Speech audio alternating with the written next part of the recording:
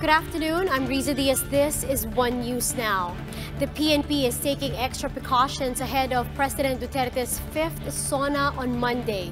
Meanwhile, progressive groups are saying the Interior Department's mem memorandum prohibiting mass gatherings will not stop them from staging a protest. News 5's Greg Gregorio is reporting live from Mandaluyong to give us the latest. Greg, what's the latest?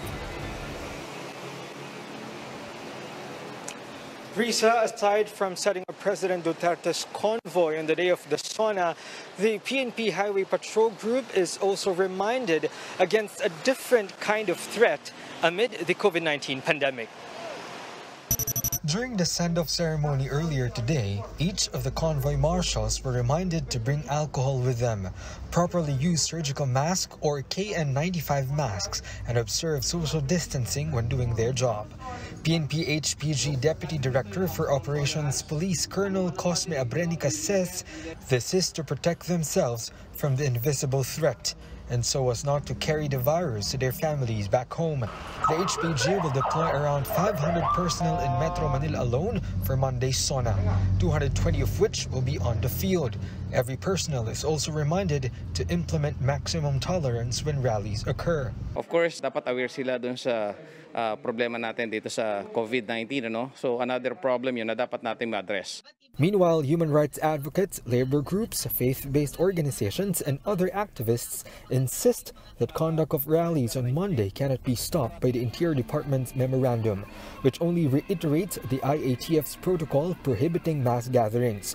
Human rights lawyer Chel Diokno says the intent to prohibit rallies could be deemed as prior restraint. He added that the IATF is not a law-creating body Thus, this memo cannot supersede the right to freedom of expression granted by the Constitution. Klarong-klaro naman yung kanilang um, ang nakasulat sa kanilang memo na sa tingin ko ay talagang hindi yan uh, sang-ayon sa ating konstitusyon. Uh, handa kaming ipaglaban ito kung kailangan pang pumunta sa korte ay handa rin kami. With this, lawyers and paralegal teams of various groups will also be on standby should anyone from the protesters will be arrested by the police. Bayan Secretary General Renato Reyes says even after the memo has been released, they are still in continuous coordination with the PNP to show the sincerity of the planned protest. There will also be marshals to implement social distancing, while everyone is reminded to bring face masks and follow health protocols. Sinigurado pa rin namin, even at the last minute, uh, magkaroon ng maayos na coordination sa Quezon City Police at sa Quezon City LGU. At uh, ito naman po ay ongoing uh, para naman ho maiwasan anumang hindi magandang uh, pangyayari.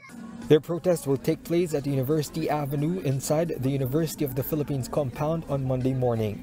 They say it can accommodate around 5,000 individuals, like the Grand Mañanita last June 12.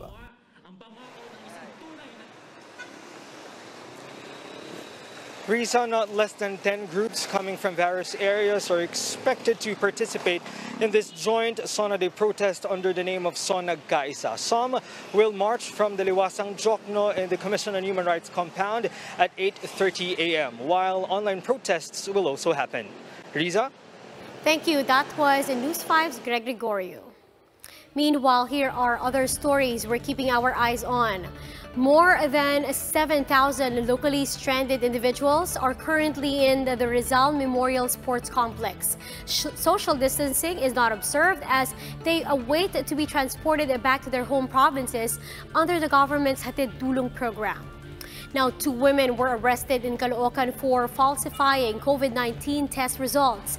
The CIDG conducted the raid at the suspect's computer shop after a Facebook post went viral showing a man asking for test results to be scanned and photoshopped and the armed forces confirms that there are no more foreign terrorists in the country. Because of this, the military is now focusing on local terrorist groups such as Abu Sayyaf and Bangsamoro Islamic Freedom Fighters or the Dawla Islamiyah.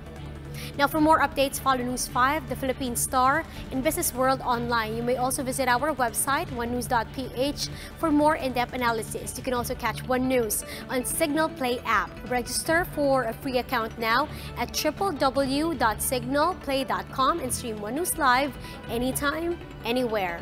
I'm Riza Diaz. We are One News.